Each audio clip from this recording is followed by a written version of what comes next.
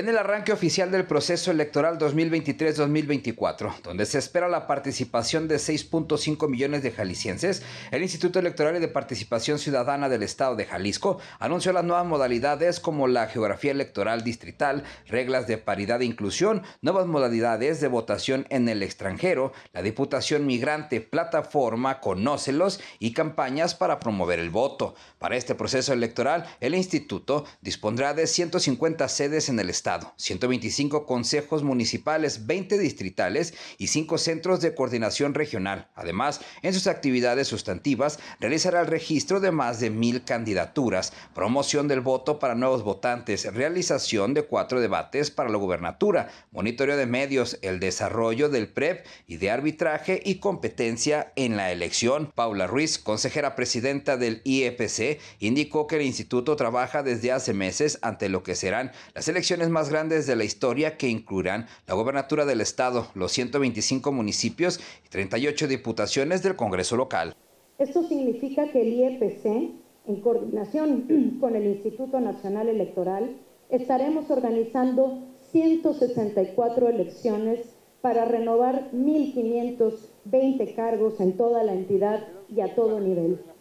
Se trata de la elección más grande que se haya organizado en Jalisco no solo por el número de cargos que habrá en juego, sino también porque podrán votar cerca de 6.5 millones de jaliscienses, medio millón más que en la pasada elección de 2018. Para la elección del 2 de junio del 2024 se instalarán 10.772 casillas en todo el territorio. Las personas que residen fuera del estado tendrán tres opciones para emitir su voto, por internet, por correo postal y de forma presencial en cualquiera de las 23 sedes consulares de México. La consejera presidente del IEPC exhortó a los integrantes de los partidos políticos que estarán participando en el proceso a respetar y acatar las normas establecidas y así poder llevar a cabo unas elecciones tranquilas y con la función de los partidos políticos en la democracia es esencial porque constituyen el vehículo para que la sociedad acceda al poder político y se encuentre representada por este.